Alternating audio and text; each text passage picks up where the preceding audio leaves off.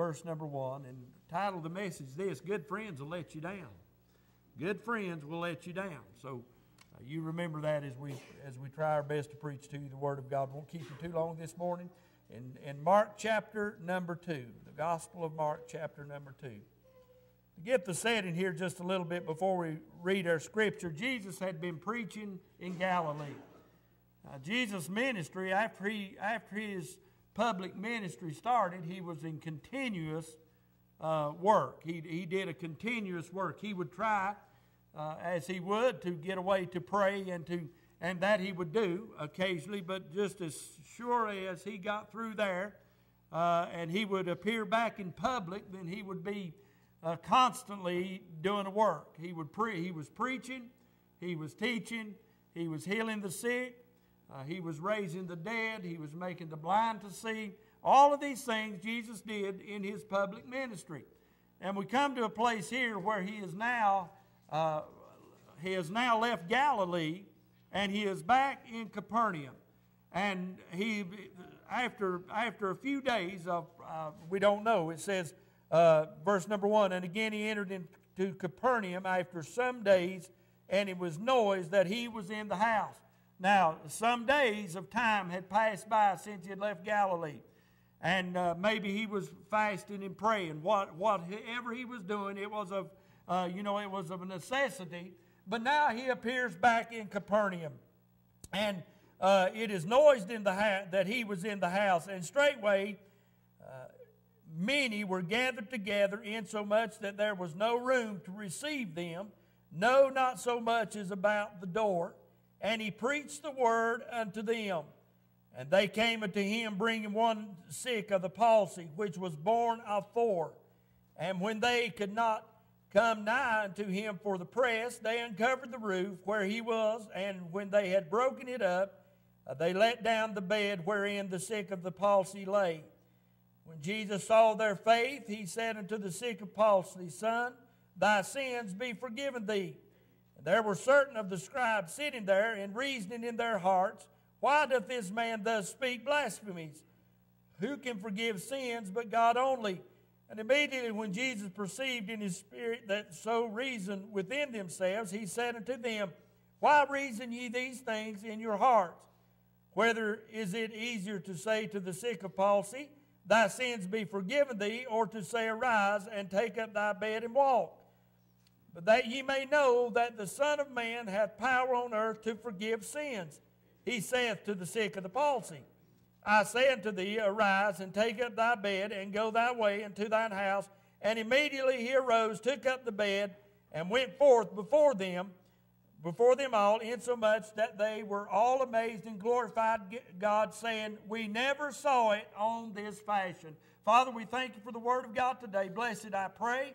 Lord, I pray the Spirit of God would take control today. God, take over, uh, Lord, this message, and God, do that which I cannot do. I pray the Spirit of God would uh, give us words and give us wisdom. Help us to say only those things that will be pleasing in thy sight. And God, touch our hearts today with the word of God. In Jesus' name, amen. Now, we, we find here that Jesus enters the town of Capernaum, and as he enters that, uh, he was in a house. Now, this might have been Peter's house. This might have been uh, some of the other disciples' house, but we find him in a house. Now, uh, these houses were low built to the ground, so we'll understand the story as we go along. But it was noise that he was in the house. Now, friend, I want to tell you something very important today. It is important that you and I understand that we need God in the house. Number one, we need God in the house. Amen. We need to know that He is in our presence here at the house of God. And friend, I want to tell you something. I've been a lot of places and preached in a lot of places, and it's not always that you can preach in a place where God, you know, makes manifest Himself as He does here at the house of the Lord. I thank the Lord for it. Amen. I've been in places where it was real hard to preach because it seemed like there was a discontent spirit in the house. There was a place where the Lord had a hard time working because there was a lot of discontent in the church. But I thank God today we've got a place to come and worship. You and I today have a place to come and worship where we can leave the cares of this world outside those doors. Amen. I have to unload a whole lot of baggage sometimes before I come to church, don't you? There's a lot of things on my mind sometimes before I get to the house of God. But I want to tell you something. I'm glad that when I come in those doors back there, amen, the cares of the world soon disappear. The cares of life soon disappear. And we come into His presence, and we do come into the presence of the Lord here at the church. Amen. It is noised abroad that Jesus was in the house. Everybody heard, hey, Jesus is over in the house. Jesus is in that house over there. And they pinpointed the place where Jesus was at. Well, I'll tell you something, it didn't take long for news to get about that Jesus was in the house. And I'll tell you something, friend, it'll be known far and wide, amen, that this church is a place where Jesus is in the house. And we ought to, when I leave here, people ask me, how'd your service go? Oh, I praise the Lord. We had a good time today. Amen. We had a good service today. And if we'll be let it be known that Jesus is in this place, we'll soon find out that there are people that want to go where Jesus is at. Now, not everybody of that town went to that, that place, I'm sure, but those that wanted to see Jesus, those that wanted to have a touch from Him, showed up at that house. Now, they showed up in such a way that they couldn't cram any more into that little, into that little house. They couldn't get anyone in behind the corner. They had people sitting on people's laps. They probably had people standing on the furniture. But that house was crammed, and Jesus didn't have a lot of room to preach. Boy, I'm looking for the day when we come to the house of God and I can't go in the choir because the choir's full. Amen. I'll have a hard time getting up and down the aisles because the aisles are full of chairs. Amen. And there won't be a seat left in the house. Look into that day and believe Jesus is going to do it because Jesus is in the house. Amen. And we need that as a church. That is the most important thing about this church is that we maintain that the presence of Jesus is in this place. Now, I've got big dreams. I've got big ideas. I think, you know, I've got big thoughts. Always got to have big plans. But let me tell you something. for all my if all my plans fall apart, amen, and we're, we're gathered with just a small group of people, it's all right as long as Jesus is in the house. Amen. And that's what makes this place so special is that Jesus is in the house. Now, that house that Jesus was in was not particularly any different from any other house. But what made it different was Jesus was there. I, I know I've, I've, I've talked to folks and I've been around. I know there's places this morning that you could go to church or that I could go to church and we would, we would not experience what we experience here at the church. Amen. And I have, I have, I hear testimony of people that say that they say, "Well, I wish the Lord would show up at the church." Amen. But I'm glad to report to you today that God shows up here. Amen. I'm glad to report to you today that Jesus is in the house. And that's an important thing. I'd rather have him as the governor. Amen. I'd rather have him as the president. Amen. Now, I didn't say the president of what, I just said the president. Amen. I'd rather have him, amen, as all the congressmen. And I've had services, we've had services at other churches where, where I've had congressmen come in or, or candidates for, I've had people come in for some reason, but I'd rather have Jesus, amen. You give me all the dignitaries. Listen, they want to come here and hear me preach. Any one of them's welcome to come hear me preach. But I want Jesus here. He's more important than anybody. Jesus is the most important person in this church today. The most important one is Jesus. It's not me. It's not the deacons. It's not the Sunday school teachers. It's not the singing leaders. It's not the choir. The, the, what makes all of that work is because of that one man, Jesus. If he's not here, I can't preach. Did you know that? If Jesus don't show up to help me preach, I can't preach. Now, I've got a lot to say. Amen. You, you come around me, Sister Ashley. Sister Ashley's my witness. I've got a lot to say about every day, don't I? Say amen, sister. Say amen. You had your chance. Amen. But she works with me. I got a lot to say, but I'll tell you something. I'll never say a word in the house of God that means anything to anybody except Jesus show up. Amen. Jesus is the most important person here today. He's the one, amen. He's the one we ought to look to. He's the one we ought to lean on. And when we come to church, amen, we're looking for Him to show His blessings and to share His blessings and His, and His presence upon us. So we see here, number one, that as Jesus went to Capernaum and as he began to preach in the house, that it was noised abroad that Jesus was in the house. Now, we not only need him here in the house, but we need also need him at the home. We need the presence of the Lord in our homes. We don't need to leave him here, amen. We need to get in the car, amen, with us. We need to experience his presence, and we need to pray, Lord, I pray, God, that you be present with me when I go home, when I go to work, and Lord, be present with me in the house. I got off in the, in the study last night and I was studying and I was, oh, thank God, I'm glad for the presence of the Spirit of God in the house. And you know what? I'm feeling just as much at home as I can here. I can feel him as much in my car driving down the highway as I can here. Friend, I want to tell you, when Jesus is in the house, amen, you're in the house with Jesus. It could happen just anywhere, just any time. I've drove down the highway before and get from point A to point B, and Jesus get in the car with me, and I have no idea how I got to point B from point A, but I got there safely, amen, and I've rejoiced in the presence of the Lord, amen. Oh, my friend, today, where Jesus is, there's safety, and there is peace, and there's excitement, and there's joy. All those things happen when Jesus is in the house. So we need to understand that that's the most important part of our church services or, or, of our daily life is if Jesus is in the house. Now, we see Jesus in the house. We see a man that is paralyzed. Now, that's what palsy, was described as. He was a paraplegic. He had no use of his uh, arms, of his legs, and, and the only thing he could do, I, I probably feel like he could probably talk, but that was all. And we have this man, and we know because of what the scripture says that it was because of some sin in his life. Now, I'm of the opinion that before this was all happening, I believe this man had probably called on Jesus because he certainly did believe in him because he wanted to get to him. And I believe that as he was uh, somewhere there, he had been praying, Lord, help me, forgive me my sins. God, I need some healing. But this paralytic man, don't know how long he'd been in that condition, but for, some time, he had laid on his bed. And I, I can only imagine that as he laid there on his bed, as he laid there every day, day in and day, day in and day out. Listen, sometimes God has to put us flat on our backs to get our attention.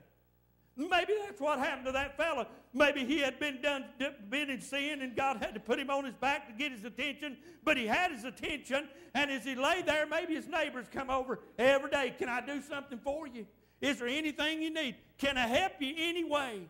And, and they went every day, probably somebody checked in on him to see did he have everything he needed? Was everything all right? He couldn't do it for himself. Somebody had to help him. I want to tell you something, friends. Sometimes people need our help and they can't get help from nowhere else. And that's what we got to step up and say, Can I help you anyway? Now, this man was sick and he, he had the palsy and uh, he heard Jesus was in the house and he'd heard, I'm sure he had heard of all the good things that Jesus had been doing. Let me get my breath a minute before I pass out. When God, I tell you what, when God gets around, friend, these old bodies can't, they just can't do so much. Amen. But let me tell you, when, when Jesus was in the house and this man heard that Jesus was in the house, he said, That's the Jesus that healed so and so that I heard about over in Galilee. That's the same Jesus that cast out the, the, the, the demons into the swine that I heard out over in Gadara. This is that same Jesus. And if it's him, he can heal me. So he had faith.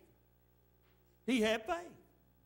So he called his neighbors up. Now I'm reading between the lines. You just got to read with me. If you can't see him, trust me. Amen. He called his neighbors up. Hey, I need some help over here. Here come four of his neighbors because they said he was born of four. So he called four of his neighbors. He says, Fellas, he said, I know that I hear Jesus is down the street in that house over there. And, uh, uh, and I believe if I can just get to Jesus, I believe that he can heal me. Now, these other four, they had to have faith too. You know what? They could have said, nah, you know, that's, that's just hearsay. That's not going to happen. You've been sick too long. There's no way you can get any help. But they said, all right, we'll get you down there. So his four very good friends got on one corner of his bed each, or his cot or his mattress. One portion of scripture says a mattress. They got on his mattress, on four corners of his mattress. And they said, All right, fellas, we get him down there. So uh, I believe a leap of joy went over in his heart when he knew that he was going to get to Jesus. So they got on his bed and they carried him down there to the, to the, to the and they got about a block away and all this tremendous multitude of people was gathered around that one little house. Now, right then, those four friends could have said, Man, we'll never get you in there. We'll take you back home. But because of their persistence and because of their faith and because of the faith of the one that was sick, they said, We'll figure it out somehow. Maybe they come up to the crowd and said, Excuse me, excuse me, and nobody was paying any attention to them.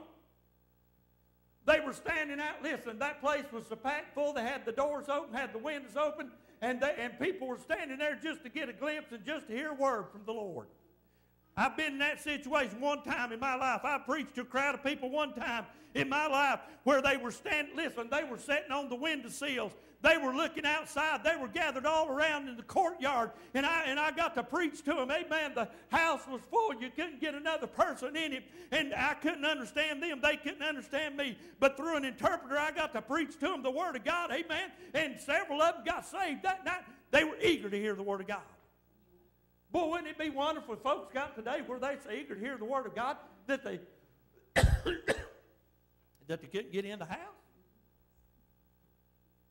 Preacher, that'll never happen. That's why it won't ever happen because people got a negative attitude. Amen. I don't. Amen. I believe God's just as big, big now as He was then. And I believe we'll pray just right. And I believe we'll seek the face of God. And I believe we'll invite folks to come, they'll come to the house of God because Jesus is already here waiting on them. Amen. I'm going to get beside myself here in just a minute, so I better continue on. So they get him up there and they say, Well, I don't know what we're going to do. And one of the four, you know, they set him down there, and one of the four is looking around, Hey, fellas, here's a ladder. And one of them, being the engineer that he is, he said, You know what? I know how these roofs are made. I know how these roofs are made. He said, We'll get him in. But do you know whose this house is? It's Peter's house. He won't care. Or it's John's house or whoever. He, he won't care. And so they get, listen, they went through a lot of trouble to get this man to the Lord. You get what I'm saying? They went to a lot of trouble. They bore a lot of burden. They bore a lot of heartache. They went jumped through a lot of hoops to get this one man to Jesus. I'm telling you, friend, the worth of a soul cannot be cannot put a price on the worth of a soul. No doubt there was others in the in the house that were sick too, and Jesus was healing them. But this man did not want to miss out. He said, Fellas, there's any way you get me to the Lord, if you'll just get me to him, I know he'll help me. So they got him, they got up on the roof, and there he's down. Fellow said, You got some rope? Got some rope, tied the rope onto him. They drug him up on the roof. One fellow says, Now set him over here. We're going to have to take part of this roof apart. So they took off that outer layer of roof, and they the, that roof and they took off the branches and the limbs or whatever was on there and they got them a hole big enough and that so happened to be they was right in front of the Lord. Amen. Just right in front of him, right in the right place. Good friends will let you down. So they got up there and said, Now, this is going to be, we, we can do it, but get the hold of the rope and let's hold him over this hole and let's let him down. Good friends will let you down. Amen if they're good friends, if they do it, they'll do it like these folks did.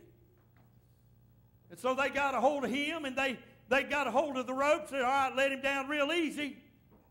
Now, you would think the crowd inside, because probably stuff had already fell on some of them's head, some of them might got a little annoyed at the, at the fact that this man had to get to God. But he was willing to do anything he had to do to get to the Lord. And these, these friends that let him down, were willing to do whatever was necessary to get him to God. You, listen, let me ask you something. If you've got a lost loved one, if you've got a lost friend, are you willing to do anything to get him to the Lord?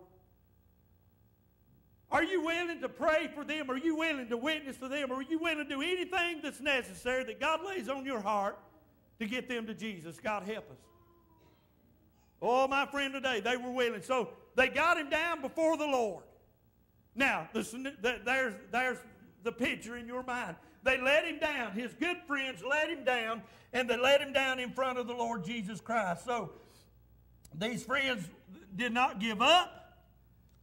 They only kept trying until they got him to the Lord. I know people, my mama had prayed for a certain person for years and years and years. Finally, they come to the Lord. Amen. They come to know the Lord. Mama shouted for two days. Amen. Amen. She didn't give up. Listen, somebody prayed for me, didn't give up on me, and I got in. Thank God. Amen. Somebody was concerned about my soul and I got saved by the grace of God. Somebody was concerned about your soul. I don't know how you old you was when you got saved, but I want to tell you something. Somebody was concerned for your soul. Somebody got on their face before God for you and begged the Lord to put you under conviction that you might come to know him. Amen. Aren't you glad somebody did? Amen. Aren't you glad you had some friends that would lift you up to the Lord in prayer? Aren't you glad you had some mamas and some daddies that would pray to you and say, Lord, save my children? Well, y'all ain't near as excited as I am. Hallelujah. Amen. I'm glad I'm in, thank God. I'm glad I'm bought with a price. I'm glad my name's written in the Lamb's Book of Life and I'm on my way to heaven. But boy, I got a lot of people that I know that's going to hell without God. Now, Jesus was this, this man's only hope. This man's friends were the only ones that could let him down. But boy, they let him down in a good way, didn't they? But his friends just kept on. They kept on seeking the Lord for him. They kept on trying to figure out a way to get him to God. And I'll tell you something. Hey, I've been asking you to pray about a certain fella. Hey, the Lord's working on his heart. Amen. God's dealing with him. Just little subtle things that he says to me once in a while. That hard heart is beginning to be broken by the word of God. Hallelujah.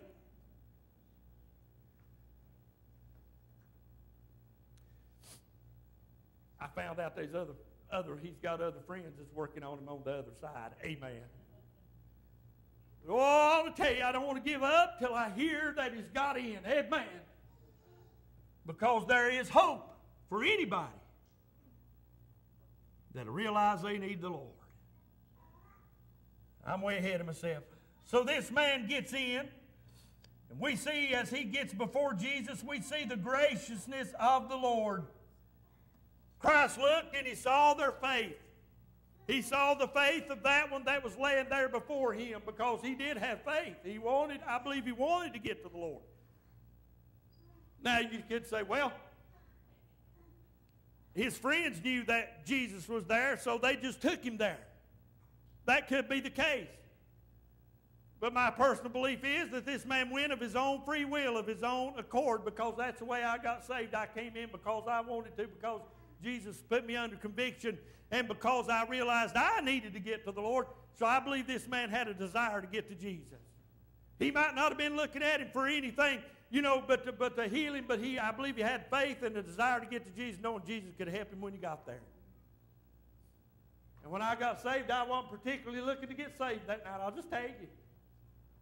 But once I got in the house, Jesus was in the house, amen. They wasn't no help for me at all, amen. I give under to the pressure of the Spirit of God and got born again by God's grace. Have you ever had that experience? Have you had, ever had that experience where you were under conviction of the Spirit of God and God convicted you and you said, Oh, I need to get saved, and you cried upon the Lord? Listen, if you're here and you're saved, that's the kind of experience you had. It might not have been like mine, and yours ain't like mine, and mine ain't like yours, but amen, it all happened the same way. We got under conviction and got saved by the glorious grace of God because of a gracious Savior. And we find the man laying there before Jesus, all he can do is look up. Amen. And he's looking up at the Lord. The Lord's looking down at him. And he says to that, he says to that man, Let thy sins be forgiven thee. So see, you can't hide nothing from the Lord. Jesus knows your sins. He knew the man's sin, whatever sin that was. He knew the man's sin. He said, Thy sins be forgiven thee. And so as, as he did that, let's read on here just a little bit. He said, Thy sins uh, thy sins be forgiven thee. but there were certain of the scribes sitting there and reasoning in their hearts. Now, there's always that crowd. There's always those negative gainsayers. There's always those that try to critique every word that the preacher says. They try to critique everything that God's doing. And they say, "Hum, oh, who can forgive sins but only God? Now, they were right. What you read the verse, they were right in what they said. But you know what they didn't realize? They didn't realize that God was standing right before them, their very eyes. There was God in the flesh. And they accused him of blasphemy. Let me tell you something, friend. Got to be accused a whole lot of things. And he's being accused of a whole lot of things. But you know what? In the end, it is God's God. God's God. And the works of God are the right works. Now, let's read what these scribes said. You know, is that religious crowd? Is that crowd that, you know, they puff their chest up because they know more than everybody else and they don't know nothing, but they think they do? And here's, here I imagine, here's the way they say this. There were certain of the scribes sitting there and reasoning in their hearts. Hmm. They were reasoning and they say, Why doth this man speak blasphemies? This man speaking blasphemies. Who can forgive sins? Only God. All in their religious order, all in their non spiritual knowledge, all in their head knowledge, they say, Who can forgive sins but God? Now, as, as always, Verse 8 And immediately when Jesus perceived in his spirit that they so reasoned within themselves, he said unto them, Jesus was there. He knew they were, he already knew they were sitting there. But when they asked that question and was reasoning in their hearts, because that was in their heart, God knows the heart. And he zeroed in on them and looked right into the depths of their soul. And, and he wants to know, why are you reasoning this? And Jesus looked into the depths of our soul. Do you ever feel like Jesus looking right through you? Amen. He is. He's looking right in the depths of your soul. And Jesus said this Why reason ye these things in your hearts? Whether it is easier to say to the sick of the palsy, thy sins be forgiven thee, or to say, Arise and take up thy bed and walk. He said, What's easier for me to forgive his sins or tell him to take up his bed and walk? But they knew, but that ye may know that the Son of Man hath power on earth to forgive sins. So he said, You got to understand that I do have the power to forgive sins because I'm the Son of Man. I am God in the flesh. He saith to the sick of the palsy, I say unto thee, Arise and take up thy bed and go thy way unto thine house. So, right there in front of the scribes, he said, Now, what, what do you think what do you think's the greatest if I say for, that if I forgive this man's sins or if I say take up your bed and walk? Jesus did both. He forgave him of his sins and he told him to take up his bed and walk and go his way. And the faith of that man was what caused him to get up and to walk. My friend, I'm telling you today, God's a powerful God. And this man, as we see Jesus, as we see him in, the, in his grace, we see the scribes and their fault finding, and then we see the man exercises his faith. And immediately he arose, took up the bed, and went forth before them all, insomuch that they were all amazed and glorified, and glorified God, saying, We never saw it on this fashion. Now, this man, it says here, the Word of God tells us that immediately the man laying down, he didn't, I don't believe he laid there and tested it out first. He said, God said it, I believe it, and I'm going to do it. And friend, I'm telling you, by the man's faith, he got up and he walked. And he went about his business. I don't know how long he'd been since he'd walked. I don't know how. But don't you know that when he got up from there and people saw the difference in his life and saw the difference that Jesus had made in him, don't you know that he attracted attention with himself? And all the people that were there were amazed. You know what I said? We never saw it on this fashion. We ain't never seen anything like this before. Oh, my friend, today it should be in our lives. God help me. It should be in my life that people would look and say, We ain't never seen anything like that before. Amen. We'd love to have it in the house of God where people go out here and say, Man, we've never seen it on that fashion. We've never seen it where God worked like that. Amen. We're looking for a greater thing from the Lord. And that's, I believe, what this man was looking for when he came to Jesus. He was looking for a greater thing than he had. And friend, I'm looking for greater things from the Lord. We're living in the last days of time. Surely Jesus must be coming soon. Amen. Look on every hand. There's everything's going on around the world that can go wrong. Everything's going on that can go on. And we see nations rising against nations. We see nations joining together in forces that we didn't suspect. But I'm telling you what all that's leading to. It's leading to the day when Jesus will step out on the cloud and say, Arise, come up hither, amen. And the born again believers, the children of God, those that have been birthed into the family of God, in the moment, in the twinkling of an eye, we're going out of here. Zip. to ever be in the presence of the Lord God Almighty. What a day that'll be. Now, some of you look at me like, boy, you must have drunk too much Mountain Dew this morning before you come to church. I ain't had none, amen, none at all. I want to had a half a cup of coffee. I want to tell you something. It's real, friend. This is real. Jesus is real. And he's the same Jesus today. And he can still heal the sick. Man, if he wants to, he can raise the dead. One of these days, he is going to raise all the dead that are living, that are, that are, that are dead in him. He's going to raise them all again. I want you to know, some friends, sometimes we need good friends to let us down. We need people that would pray for us. Listen, when somebody comes and asks you for help, hey man, let's get on their side and help them. Let's, let's, be, let's be like those four that bore this man up. It may be just prayer that they're wanting. But let's be one of them good neighbors. Let's be one of them good friends that, let, that do like this man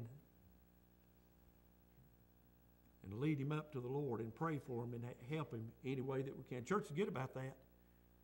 But let us in our individual lives say, Lord, help me to be a blessing to someone today. Help us get somebody to Jesus. Look, if everybody in here could get one person to the Lord, if everybody in this building, that's what, 55, 60 here this morning, if every one of you here this morning could bring one person to Jesus, or could bring one person to the house of God, let me preach to them and those got saved. Oh, friend, it'd be noised abroad that Jesus is in the house. Now, I'll tell you something. I believe it's noised abroad. I believe, I believe people know that you come to Gabriel Creek, you worship the Lord. Amen? Oh, what a blessing. But it's all God. It's all Him. It ain't me, but it's the Lord. I'm thankful that He shows His presence at the house of God. Do you know the Lord today? While everyone stands, every head bowed, no one looking around. I'm through.